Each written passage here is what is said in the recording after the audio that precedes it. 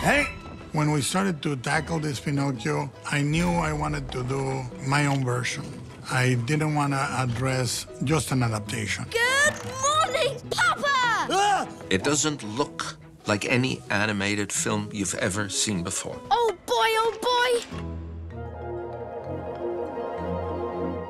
boy! Mackinnon and Saunders' sort of talent in the stop motion world is mechanical animation. They were the team that Guillermo first sought out to work on this project. The early conversations that we had about Pinocchio the movie go back to 2008. Eventually, um, Shadow Machine came on board, but they very kindly asked if uh, Mackinnon and Saunders, our company, would be involved with the puppet making. It's fair to say that the puppets that we did for Pinocchio are probably some of the hardest that we've ever had to make in our time as a puppet making company. We have to plan out a lot of how it's going to move, what it needs to do within the arc of its story, what is it going to need to be rigged on, and how much does it weigh? I mean, that's even a thing we have to consider. It's a tough balance, uh, especially when it comes to creatures, which are certainly more cumbersome than a human character. You've got so many fantastical, wonderful elements that each and every one of them is hard to do, but you have to put it together and make it work together.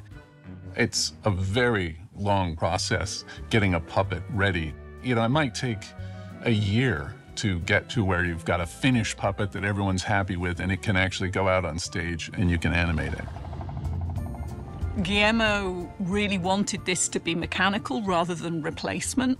We have both puppets in this movie. Replacement is every mouth shape and every expression being a transplant. Pinocchio is replacement because he's a wooden boy.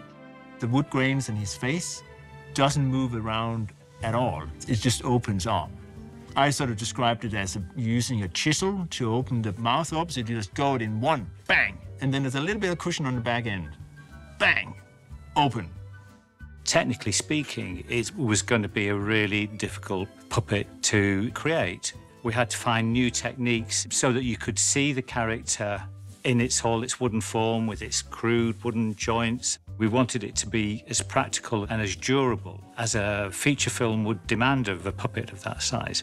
Pinocchio himself is the first puppet fully printed out of a 3D printer.